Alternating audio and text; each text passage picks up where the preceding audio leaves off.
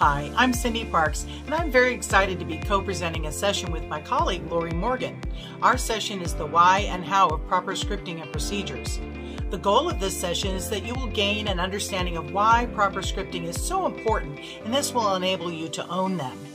We have built in a workshop portion to assist you in identifying areas that your office needs scripts in, and then providing you the tools for creating them.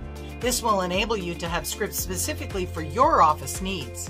This session is bright and early on Friday, October 1st at 8 a.m. Just fair warning, I am a morning person. See you there.